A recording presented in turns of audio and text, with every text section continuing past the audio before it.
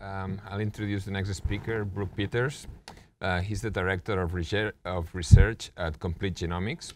Uh, Dr. Peters uh, received his doctorate in pharmacology from Johns Hopkins University School of Medicine, where he also held the postdoctoral position in cancer genetics.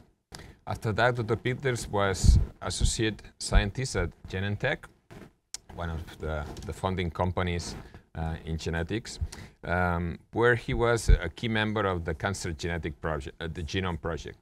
Dr. Peters uh, joined Complete Genomics in 2008 as a scientist and then um, moved quickly up to become the Director of Research in 2010.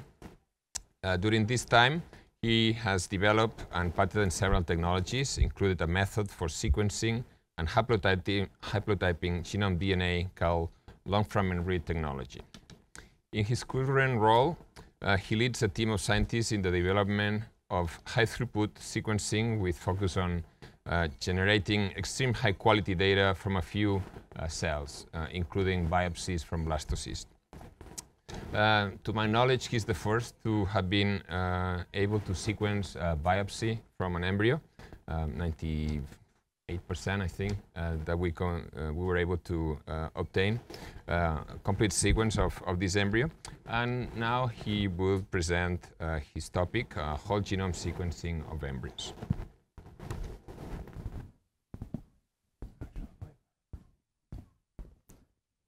Hi, thank you for that nice introduction. Um, and so, as uh, Santiago just told you, uh, I'm going to talk a little bit about a collaboration that that uh, started as as really as a result of Santiago approaching us and asking us if we'd be interested in trying to sequence uh, some small biopsies from IVF embryos.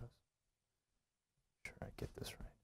Before I get into that, though, just a quick disclaimer. Um, so this project's very forward-looking. Uh, we, we don't offer this as a service, and I couldn't tell you when we might be able to offer it as a service. In its current form, the data is not perfect. Um, you know, it's a, it's a work in progress, uh, and you know, we're constantly trying to improve and make it better. Uh, I'm a technology guy, not a medical doctor, so uh, keep that in mind throughout the talk. Um, and we didn't make any diagnostic recommendations on this data. So okay, so here's an overview of my talk. First, I'll just uh, introduce you to the company in one slide. Um, probably a lot of you have never heard of complete genomics. And then uh, I'll talk a, a, little bit about um, some, some of the background that goes into genome sequencing. For a lot of you, this will be a review, and actually the, the previous two speakers touched on a lot of this stuff as well, so I won't spend too much time there. And then I'll get into uh, a, few examples of some of the data that we were able to generate by sequencing these uh, small biopsies from IVF embryos. So briefly, uh, Complete Genomics, we were founded in 2005 by our Chief Scientific Officer, Roddy Drmanac, our CEO, Cliff Reid, and then our former C CFO, John Curson, and I apologize, I didn't have a good picture of John here. And actually, Roddy and Cliff here are, are sitting or standing in front of one of uh, the very early versions of our, of our sequencer. Um, we're headquartered in Mountain View, right next to Google. Uh, and we were really started with a very simple vision, I think, which is that people would send us their genetic material, DNA, and we would just send them back a full analysis of that, of that data or of that uh, material that they sent us. Um, and so it would be entirely outsourced. Uh, you know, we've, we've developed all of our own sequencing technology, all of our own processes for analyzing the data. This is a view of one of our sequencers. You can see it's very much not uh, designed for the, the consumption of, of uh, you know, a consumer or um, you know, it's not, it's not made to be put into uh, academic lab. These are all kept on site. They're actually perfectly designed for what we wanted them to be, which is that it's very easy for us to swap out parts when they break, and they do. Um, or if, if better parts come along, it's very easy for us to upgrade these machines. We went public in 2010. And then we actually recently were acquired by a Chinese sequencing firm called BGI. Okay, so now I'll do a little bit of background here, I'm, and I'll apologize to all the geneticists in the room. Um, I wasn't entirely sure what the audience would be for this talk, so uh, this is this is very basic. I actually give this talk to the uh, the engineers in our company because they have forgotten high school biology, like a lot of people. So, so anyways, you get 22 chromosomes, uh, and then either an X or Y from each of your parents. And if you look closely, so if we, if we take a small region of, of each chromosome and we blow that up, you'll see that roughly every thousand base pairs or so, there's a difference between the chromosome you got from mom and the chromosome you got from dad. And we commonly refer to these as heterozygous single nucleotide polymorphisms, or SNPs, and you, have already heard that, that term thrown around quite a bit today. Um, there's a lot of other variations between the two chromosomes, but for the simplicity's sake, um, I'm just going to focus on SNPs today. So now, commonly when your genome gets sequenced, what happens is that you start with millions of cells, you smash those all up, you take the DNA and you fragment it down to 500 base pair pieces, and essentially all of that information about which SNPs came from mom and which SNPs came from dad are lost. And, and the, you know, you, you can identify the SNP, but, but the order of who it came from is completely scrambled. So complete genomics actually has a solution for this, which we call long fragment read technology. And it's actually a very, it's a, it's a fairly simple process, I think. Um, basically, you take a small number of cells, you, you break them apart, dilute, dilute that and spread it across 384 different compartments. And essentially what that does is it separates out maternal from paternal parts of the genome. Um, now, there's a lot of other details that go into this, but and, and I'm not going to get into those. That's a separate talk entirely on its own. If you're interested, we published it last year in Nature. But essentially, the end result is that after we do all of the sequencing and we assemble the genome, we're able to retain the, the information about maternal and paternal origin of these SNPs. And I'm going to refer to that in the talk quite a bit as phased. So just a little jargon for you there. Um, so one example of why this matters, and again, this, this was touched on a lot in the previous examples, and I'm just going to use a generic, really important gene X. Um, so in this, in this uh, example that I've, this fake example that I've created, we, we find that two of these SNPs actually code for um, code for an, a non-functional protein product from this gene. And so then the important question becomes, well, did you get both of those non-functional, uh, those SNPs that code for a non-functional gene, did you get both of them from mom or dad, or did you get one from each? And obviously, if you get one from each, then you have the potential to have a disease phenotype, whereas otherwise, if you have one good copy, you, you may not have any sort of a disease issue. Okay, so let me get into keeping in mind uh, sort of that background that I just talked about, let's, let's get into some of the actual data here. So as I mentioned, this collaboration was, um, was initiated by Santiago coming um, and asking us if we'd be interested in trying to sequence human embryos, and our response was, sure, let's try it. It's interesting. We'd never taken anything that small before and tried to create a complete human genome sequence from it. And so we started with small, small biopsies of 4 to 10 cells from unused donated five-day IVF blastocysts. And the first, first question really was, could we even do it? Um, and then, you know, if we can, is the data of sufficient quality that it would be useful? Can we identify genes that have been inactivated by heterozygous SNPs, as I'd kind of demonstrated in, in my previous part of this talk?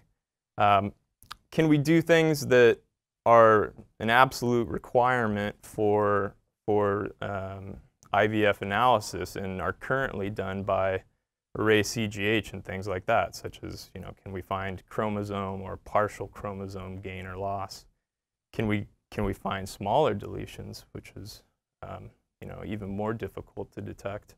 And then would we be able to make a recommendation about which embryo we should or shouldn't implant? And so this is a little uh, maybe poor artistic overview of the project. Um, but essentially, we, we had uh, seven different embryos where we were able to get biopsies and sometimes multiple biopsies from one embryo.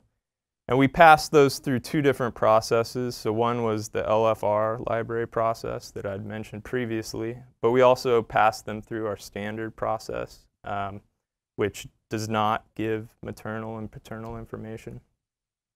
Everything was ultimately analyzed through our standard complete genomics pipeline, and then we had to do a little bit of additional analysis for the LFR sequenced material. And so to answer the question, can we do it? Yes, we can actually. Um, we, we were able to fully call anywhere from 87 to 97 percent of, of the genomes of these embryos. 100% um, is really not possible. Uh, typically, if, if we have our, our best conditions starting from a million cells, we can call about 98%. So we're doing quite well. Um, the one thing that we noticed, though, is that when you start from this small number of cells, your error rate is very high. Um, and I, I don't want to go into all the explanations of why that is, but, but what's important is that if you have phasing information, we found we could actually correct this higher error rate. And so again, I'm going to return to my really important gene example. And once again, we, we see we have a couple of heterozygous SNPs in this gene. And again, the, we find that two of those SNPs code for an ineffective protein product. And we look at the mom, and it looks like we got both of them from her. But then we, we look at dad's, and we see that we actually got one from dad as well. Now, we know that in this, in this particular instance, there's um, not any extra copies of the chromosome. And so this doesn't make sense to be able to get a heterozygous SNP from both of your parents. You, you know, you only get one, you can only get one thing from each parent. And so when we look a little further, we can see that we actually have evidence for, at, at the position where I have a T and an A, we have evidence of getting both of those bases from both parents, and that's, that's just not possible. And so actually we can do a little bit more analysis and, and identify that that T is in fact an error and that the correct calls are as I have it here, and this gene would only be inactivated in, in one copy from mom and not, not inactivated in dad as well. So now, that's sort of, again, an example, but how does this work in, in the real world? Um, so the, the tricky thing about assessing accuracy or your error rate in, in a human genome is that there's really no standard. There's a reference human genome, but um, that's, that's only so useful because everybody has a unique set of variations. And so the best way we've found for assessing accuracy is that we make two separate libraries from the same sample and sequence those and then compare those results. And so I've kind of depicted that here with two circles. And so, so, typically you'll, you'll expect about 2 million heterozygous SNPs from an individual. And so we simply then look at the overlap between those 2 million heterozygous SNPs. Now regions that don't overlap, a lot of that will be errors. There, there will also be some, some parts where we covered that region in one library and we didn't cover it in another library. Um, so that's actually another version of an error rate. Um, and so here's an actual example of we had one embryo where we were able to make two separate libraries. And if you look at all heterozygous SNPs, you can see that about 91% of those are shared between the two libraries. But if you look at phased heterozygous SNPs, you can see that now that, that percent shared has gone up from 96 to, it's gone up to 96 to 98% shared between the libraries. And so what we've done here is we're really enriching for what we think are true and true, var true variants. So once you have a accurate genome, you can actually start creating lists of genes that look like they've been potentially disrupted. And so here, here's an actual list of 16 genes that we think are possibly inactivated in embryo number 8. And just looking at this list, I, I don't really see anything that, that looks like it would be an obvious uh, disease-causing um, loss of that would cause a disease. Um, and then also importantly um, is that in this box, these are, these are genes that appear to be inactivated and through a heterozygous me mechanism as I was, as I gave an example of earlier. And just one more point to make about this is that, and I, and I think this is going to be a theme of whole genome sequencing in general, is that the technology to generate this kind of information is, is really becoming pretty mature, but our ability to understand what it means is still very far behind. So as I mentioned, we should be able to detect, if we're going to sequence the whole genome, we better be able to tell if you've gained or lost a chromosome. So this is a, this is a similar view to um, what was shown in some of the previous talks. Um, the way I've depicted this is slightly different. Um, I have here normal copy number being 2, and then because it add up mom and dad, so you get 2 instead of having it as 1. But otherwise, it's a similar concept. So again, if you look at uh, a male, to, to give yourself a reference point here, so if you look at a male embryo in this case, you'll see one copy for X and one copy for Y. One additional thing that I've included in this graph that I, I think is really useful for these sorts of analyses is we just have added up the number of heterozygous SNPs in a, you know, within these 10 megabase bins that we're looking at here. And so this is actually another really useful way to measure whether you've gained or lost something because if you have zero heterozygous SNPs, that basically means you have one copy of that particular chromosome. And so as an example, here's embryo number 13, and we can see that we have about a copy number of 1 for chromosome 2, and we have zero heterozygous SNPs. So I think we, we would be very comfortable in saying that this particular embryo lost chromosome 22. Embryo number 8, replicate 2, is kind of interesting. You can see that there's a reduction in the copy number in red there. And then there's also a reduction in the number of SNPs but, but it doesn't go to zero. And so I think what you're looking at there is uh, a little heterogeneity, uh, cellular heterogeneity. So probably maybe half of the cells in this particular library lost um, chromosome 13 and the other half didn't. And indeed, if you look just above it, so that's another replicate that was made from that same embryo, and you can see that there's no indication of a loss of chromosome 13. So can we detect even something smaller than chromosomes though? And, and so this gets a lot more difficult as you, as you try and get, detect smaller and smaller changes in a genome. Um, again, we're looking at copy number here, and this is copy number for the, for the entire genome um, for both mom and dad in aggregate. And it, it, if you look, it looks like there is a, a region there that dips close to 1 um, but there's some other regions in there that kind of dip close to one too. And th this is pretty common for the kind of coverage that you'll see in a, in a human genome sequencing from a small number of cells. It's a little bit noisy. But the thing we can do is if we separate that signal into the maternal and paternal components, now we have a much clearer view. So you can see in red, one of the parents has copy number one almost entirely across that region. And the other parent, now you can see that they have this clear loss in that region where it went to zero. So answering the final question, could we make a decision about which embryos to implant? I'd say maybe. Um, you know, definitely we wouldn't implant embryo number 13. It had a clear loss of chromosome 22. Um, embryo 8 is interesting. We had two replicate libraries. One of them looked like it had a partial loss of chromosome 13. The other didn't, so you, you probably wouldn't want to implant that either.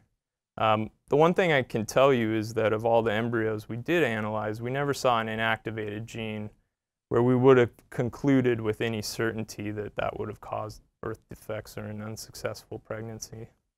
And again, I, th I think to, to re-emphasize, um, we have to have better analysis tools. So, you know, we, we have the capability now to, to look this deeply into a genome, but we really don't know what all of those variations mean yet. And so we need bigger databases, millions of people probably, in both normal and disease states. So I hope I demonstrated that it's really important to, to analyze both the maternal and paternal parts of each genome. And, and also I, I hope that I demonstrated that accurate whole genome sequence from embryos is possible. The error rates are high, but we've, we've shown that if you use phasing, you can remove those, those, um, those errors. And our ability to fully understand all the, the changes in a human genome is way behind our ability to generate this high quality sequence data. So I have one, one last slide to leave you with, which is, and a, a couple of other speakers have kind of talked about this as well, but, but really I think uh, whole genome analysis will just be another tool um, for doctors to use to improve patient outcomes. And with that, a lot of people to thank. Thank you.